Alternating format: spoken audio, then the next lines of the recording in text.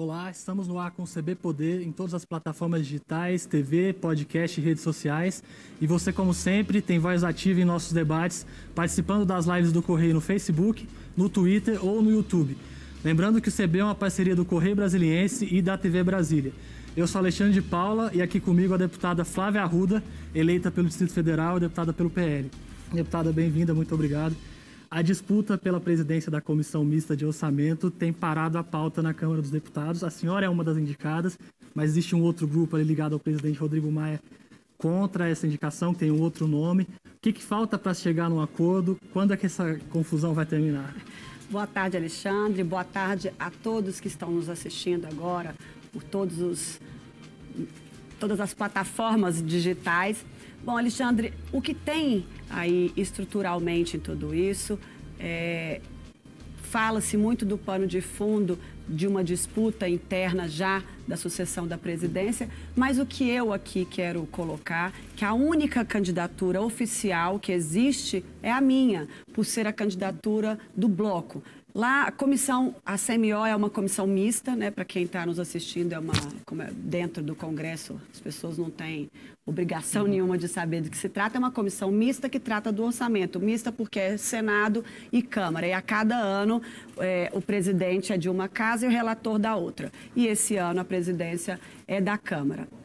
Quem indica no regimento da casa é o maior bloco, é a proporcionalidade.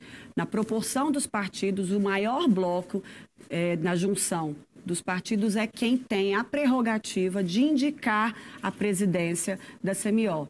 E hoje o maior bloco indicou a minha candidatura. Então, a única candidatura oficial regimentalmente é a minha.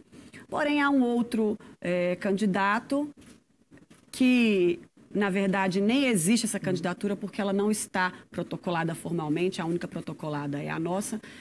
Ele, ele vem de um outro grupo e também trabalha nessa possibilidade. Eu quero deixar registrado que eu tenho o apoio amplo é, dos partidos por se tratar de um regimento e do respeito que todos têm pela proporcionalidade dentro das casas.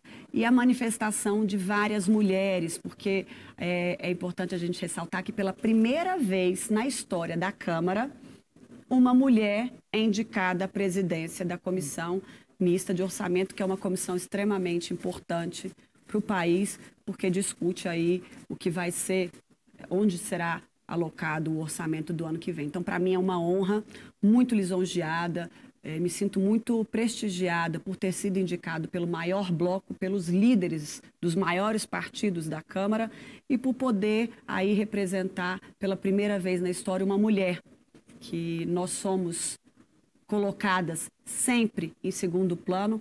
Poucas vezes uma mulher participa desses debates na verdade, nunca participa. Agora foi nos dado a chance e a gente não vai retroceder, não vamos voltar atrás. Deputada, a senhora é parlamentar de primeiro mandato. Não é comum um parlamentar já chegar assumindo a, a comissão de orçamento, que é a comissão mais importante. Estava na, na, expectativa algo assim ou foi uma, uma, surpresa pela, pela construção ali com, com os partidos? E a senhora já se sente preparada para esse cargo também?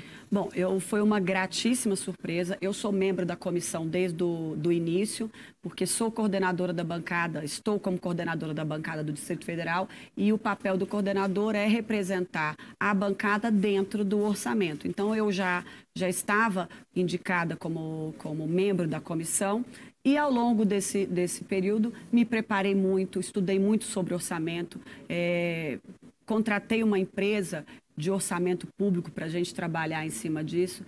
E vários líderes, inclusive, sabiam pedir ajuda a muitos deles que têm técnicos e assessores de orçamento muito preparados. Venho me preparando ao longo do ano, justamente pra, por ser membro e representar bem a bancada do Distrito Federal. Quando surgiu essa, essa indicação, eu me senti, primeiramente, mais uma vez, muito lisonjeada por ter sido indicado pelo Bloco, né? E segundo, por estar absolutamente preparada e confiante que posso fazer um trabalho de diálogo, de construção, que é uma característica que eu tenho adotado no meu mandato, é, de, de diálogo com todos. Tanto que nessa manifestação de apoio à minha candidatura, tiveram deputadas da base do governo a deputadas da esquerda. Todas elas no, no, na, na, mesma, no mesmo fizeram o mesmo é, incentivo, a mesma dedicação de homenagem por se sentirem ali representadas por uma mulher. Então, tive um apoio muito, estou tendo um apoio muito grande de todas as alas, de todas as diferenças de, de pensamento, absolutamente suprapartidário, por poder aí fazer a história, não só do Distrito Federal, né, que nunca houve ninguém do DF nessa, nessa posição, mas principalmente de ter a oportunidade de uma mulher mostrar que elas têm competência tanto ou melhor do que muitos homens que ali se encontram. A senhora falou que a primeira vez que seria um, um parlamentar do DF, né, o governador declarou apoio à sua candidatura. O secretário André Clemente de Economia também falou aqui no, no CB Poder que seria muito importante. Que diferença faria para o Distrito Federal ter alguém na, na presidência da comissão? Olha, Alexandre, o, o DF nunca teve um protagonismo orçamentário, é, porque é, é uma, uma, uma unidade da federação que tem é, aí recursos próprios, tem o fundo constitucional e tem uma bancada pequena. Então, a representatividade e a projeção em relação ao orçamento é, é, sempre menor. Ela nunca teve um, o Distrito Federal nunca teve um protagonismo.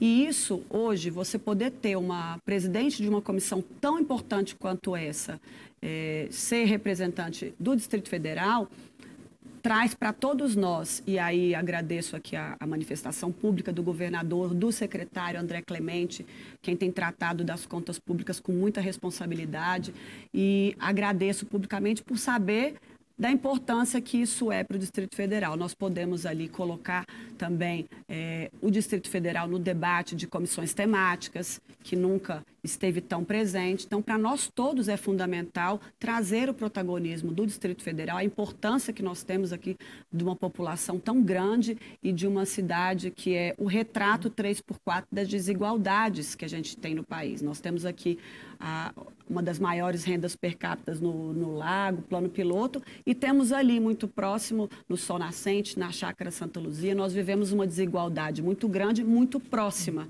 Então, para nós é muito importante ter esse protagonismo no orçamento e me sinto absolutamente pronta, preparada. Queremos, inclusive, se tiver alguma, alguma dificuldade, ir para o voto. O que a gente quer é a oportunidade. O que não pode é não instalar a comissão. Dizer, ai, está é, tá atrasando, quando no fundo é uma prerrogativa apenas do presidente do Congresso de instalar ou não.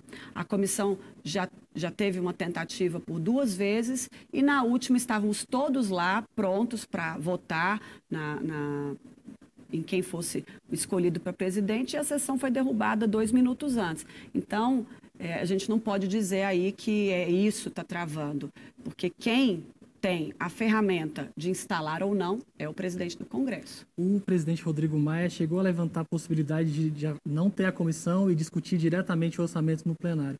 Qual o impacto de uma medida como essa? Que prejuízo você poderia trazer para o debate? Bom, Alexandre, é até bom você tocar nesse assunto, porque agora em primeira mão vou te dar aqui uma informação. Eu fiz uma consulta é, a, aos técnicos orçamentários do Congresso demorou um pouco para sair, para saber se existia algum fundamento, embasamento é, regimental ou mesmo na trajetória histórica da comissão, se isso já aconteceu em alguma, em alguma época desde a da, da instalação da comissão. E nunca houve, não há precedente para isso, isso nunca aconteceu.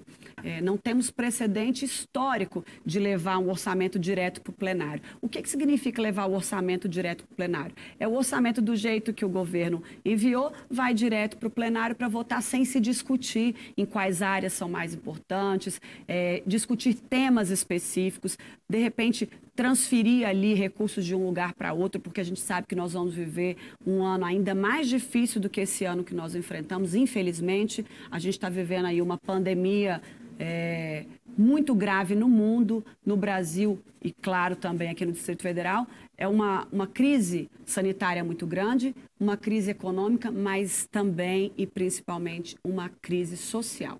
A gente enfrenta uma crise social que o ano que vem pode ser agravada, porque não temos mais aí é, a injeção de recursos da, da, do auxílio emergencial. É, essa é uma discussão que está trouxe... tá muito forte também da prorrogação desses programas de renda, da necessidade de se pensar um programa também mais, mais sólido e que, que seja mais duradouro. Como é que a senhora vê essas iniciativas e, e existe espaço no orçamento para se pensar nisso? Olha, Alexandre, eu acho que espaço sempre há. Nós temos um, um, um, orçamento muito apertado, realmente, e essa é mais uma razão de se instalar imediatamente a comissão de orçamento, porque precisa ser discutido, tem que ser discutido. O que a gente tem que deixar muito claro é que não pode mais protelar uma comissão que já era para ter sido instalada em julho, agosto, mas em, em, por conta do, da pandemia, muitas nada estava funcionando mas eu vi até um anúncio agora dizendo que na semana que vem as outras comissões também vão voltar a funcionar. Então, é fundamental a instalação para se discutir esse orçamento, que será mais difícil do que os outros anos. Quando um orçamento é, é folgado, temos aí um orçamento tranquilo, ok. Agora, é mais difícil ainda e mais urgente, mais grave se tratar e se discutir um orçamento quando ele é um orçamento curto, pequeno. Mas há sim, e tem que ser discutido, a possibilidade de, de colocar recursos ou para programas. Eu, eu sou da, da tese, inclusive presido a comissão especial do Bolsa Família, de políticas públicas permanentes. Né, para que isso seja uma política pública. Tem que ser uma política pública dotada para transferência de renda permanente. O Bolsa Família é algo que já deu certo, que funciona, óbvio, revendo aí algumas alguns problemas que existem, como todos os outros programas, a gente tem que fazer ajustes e essa comissão é para discutir justamente isso, uma reformulação do Bolsa Família. Então, eu acredito em programas de transferência de renda permanente.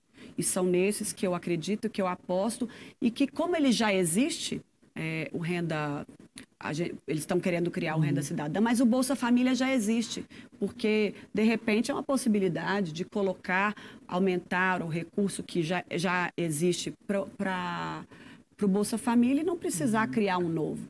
Mas há que se discutir sim, é fundamental que a gente fale sobre esse tema, como muitos outros, mas a gente precisa dizer que nós vivemos uma crise social muito grave e com essa renda emergencial chamou atenção para mais de 20 milhões de brasileiros que eram invisíveis, que ninguém sabia que estava na extrema pobreza como está. Então, é muito urgente a gente olhar para as necessidades dessas pessoas que passam muita necessidade no país. Outra questão que também tem levantado muita discussão, que tem relação com a política fiscal e com o orçamento, é a questão do teto de gasto. Tem muita gente que defende que não é possível manter o teto de gasto sem se fazer as reformas, e aí está tudo também com dificuldades por causa da pandemia, as reformas não andaram ainda.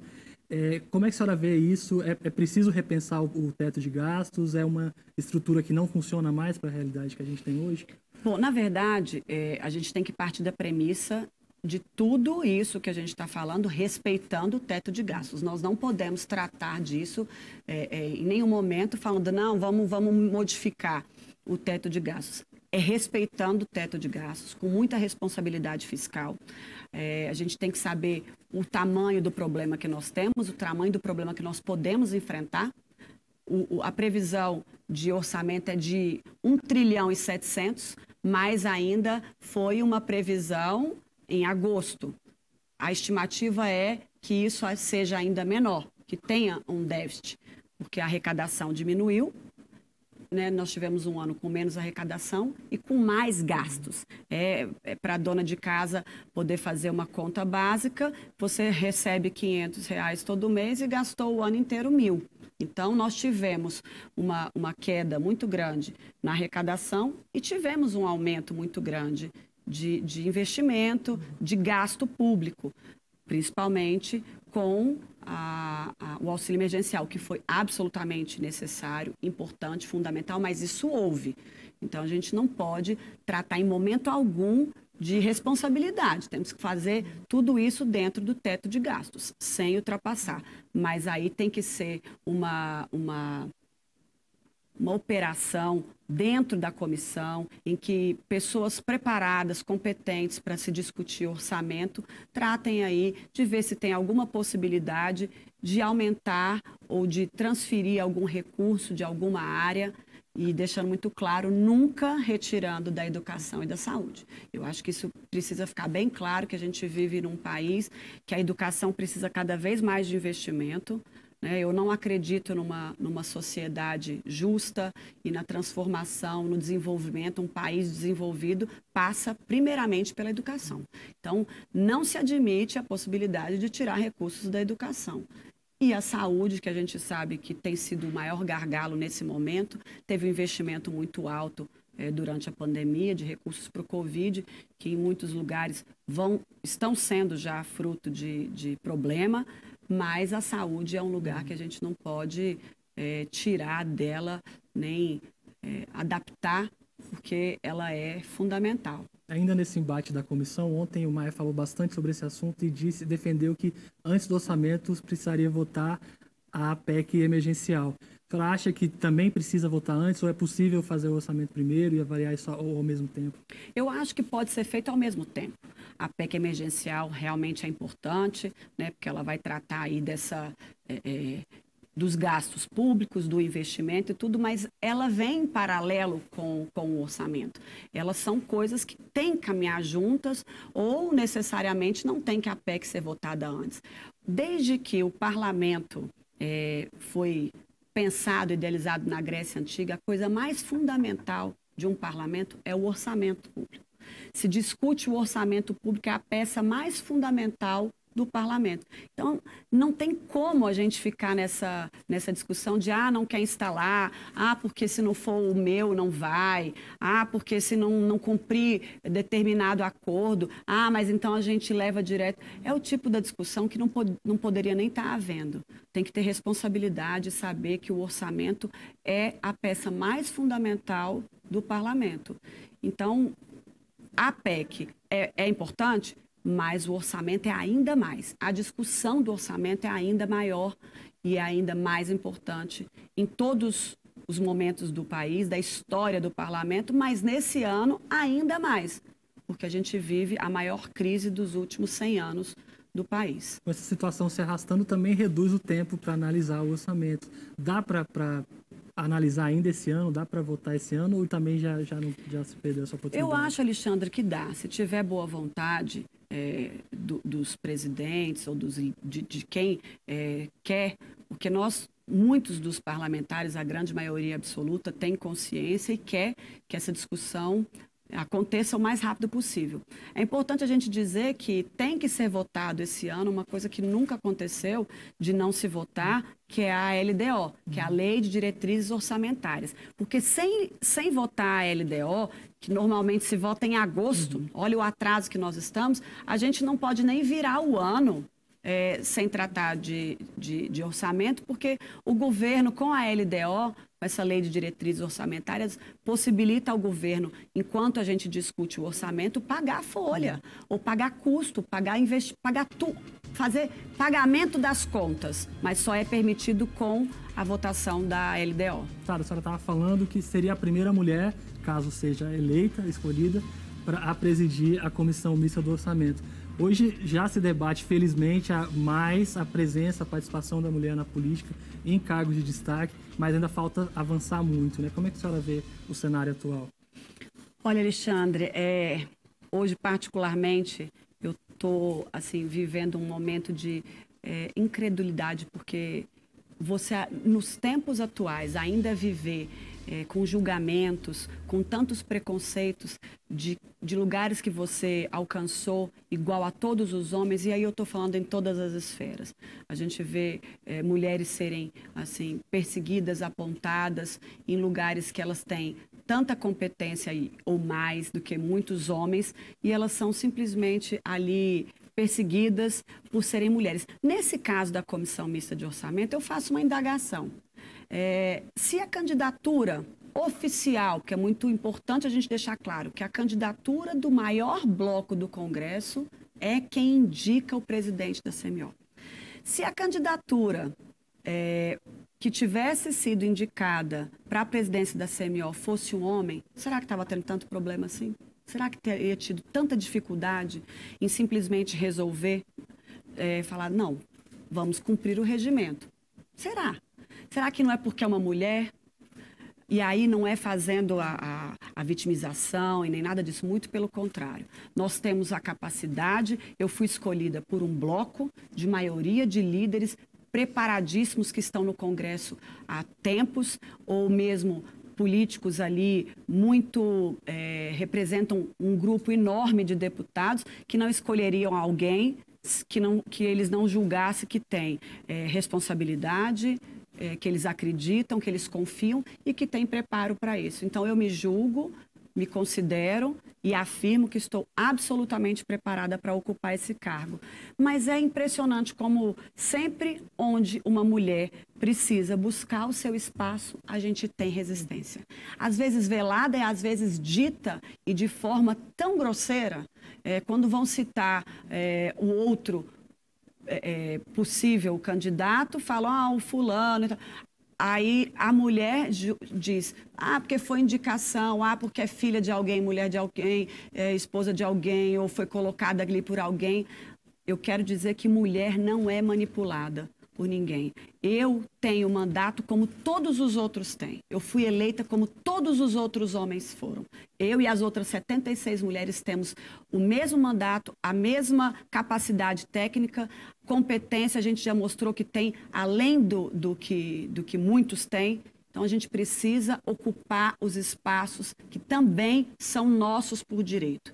E essa é uma, uma uma, uma das questões que eu me coloco cada dia mais com, com, com, com mais problema que a gente tem, com mais é, discriminação, preconceito ou dificuldade que a gente tenha, mais força eu tenho para ir, porque eu sei que essa missão não é mais minha ou do meu partido ou do bloco, é uma missão de todas as mulheres. Poder ocupar esse espaço é abrir um espaço para todas as outras poderem também ocupar. Ter relatorias importantes, ou ser presidente, ou ser a relatora do orçamento no ano que vem, mas é preciso. Onde abre uma porta ou uma janelinha para uma mulher, a gente tem que agarrar essa oportunidade. Essa oportunidade eu estou agarrando com todas as forças, porque eu quero representar não só as mulheres do parlamento, mas todas as mulheres que, por puro preconceito, por puro machismo, são o tempo todo julgadas, a gente precisa o tempo todo provar que a gente tem capacidade, precisa o tempo todo provar que a gente pode, mas se é para ser assim, a história da ocupação feminina, tanto no parlamento quanto nos espaços, foi sempre feita com muita luta, com muita guerra, e agora não vai ser diferente. Eu vou enfrentar isso, mas a única coisa que eu peço é que dê a possibilidade de ir para o voto, mas não tire isso do, no tapetão.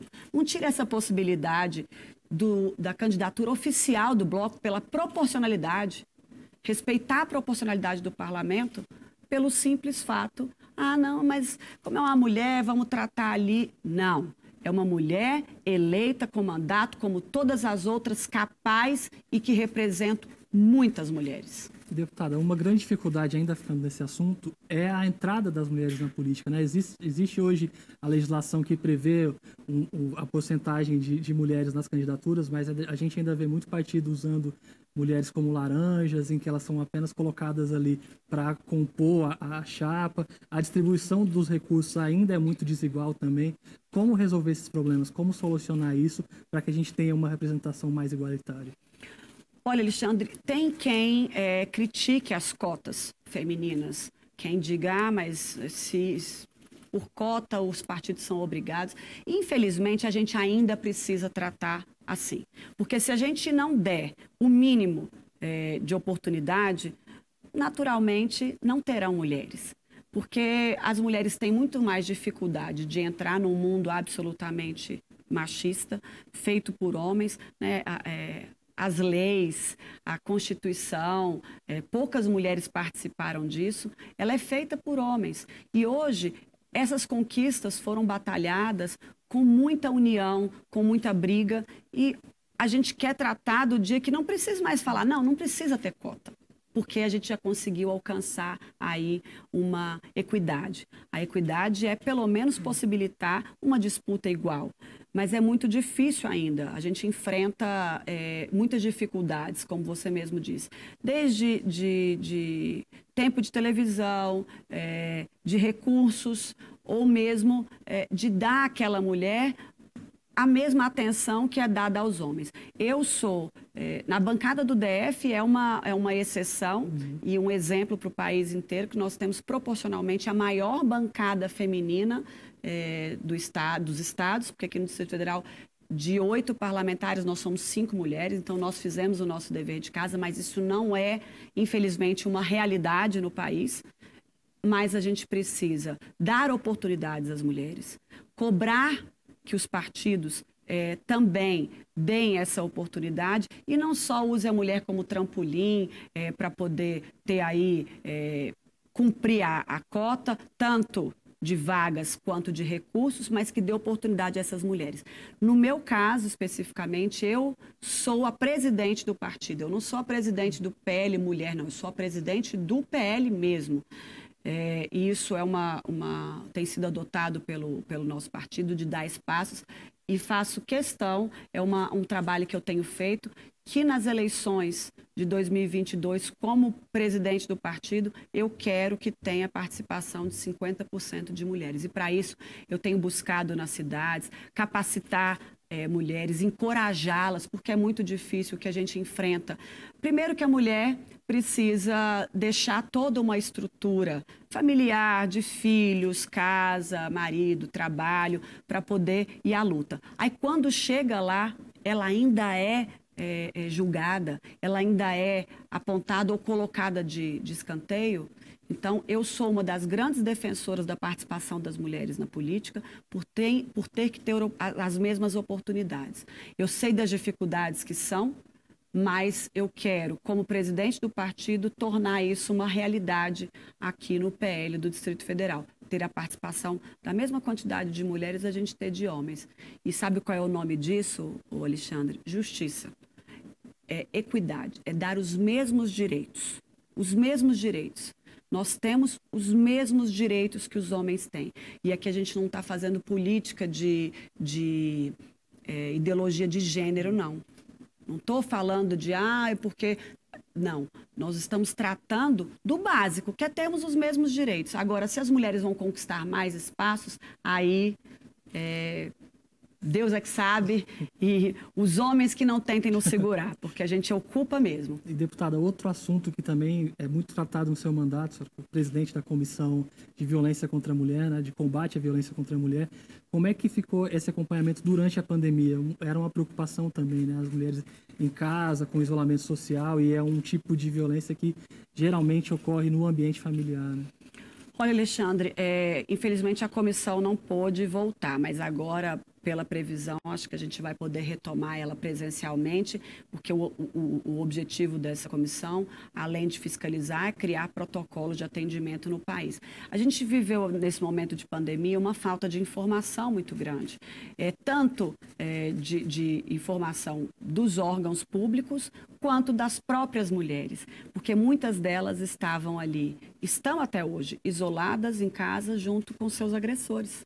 Então, esses dados de que a, a, a violência, eu falo a nível nacional, o número de feminicídio aumentou e o número de violência contra a mulher aumentou. Eu acho que tem aí é, uma, uma, uma cortina em torno disso, porque muitas dessas mulheres não, não estão tendo a possibilidade de sair de casa, de onde elas estão, muitas das vezes é, ali trancadas com seus agressores e fazerem uma denúncia. Mas é preciso que a gente também agora retome é, esses protocolos, a tentativa ou mesmo a possibilidade de fazer um protocolo de atendimento nacional, que todas as mulheres saibam aonde recorrer e que principalmente o Estado possa amparar essas mulheres de verdade. A gente vê aí casos de mulheres que foram lá, que denunciaram, é, que estavam com medida protetiva e que, por alguma razão,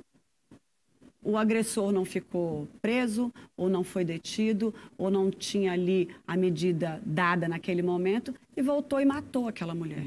É o tipo da coisa que a gente não pode mais admitir na nossa cidade, no nosso país e no mundo. Matar a mulher pelo simples fato dela ser mulher, por posse, por ciúme, porque não, não admite. A gente viu aqui no Distrito Federal aquele maluco que não admitiu a separação, foi lá e, e, e pegou uma chave de fenda e, e golpeou a mulher naquela grosseria, de uma forma assim, animal. É, é o tipo da coisa que tem que ser escrachado para todo mundo ver o tipo de animal que faz esse tipo de coisa com, com uma mulher ou com qualquer pessoa, mas por não admitir que essa mulher saia de um relacionamento abusivo. Deputada, nosso tempo está acabando, tem um minutinho, mas queria fazer uma pergunta antes. A senhora foi a deputada federal mais bem votada do DF e está agora com, com destaque nacional, com tudo isso. Quais os planos para 2022? Já tem ideia do que vai fazer? Alexandre, seria muito é, leviano, precipitado e irresponsável da minha parte da gente tratar de qualquer coisa para 2022 vivendo o momento que a gente está vivendo.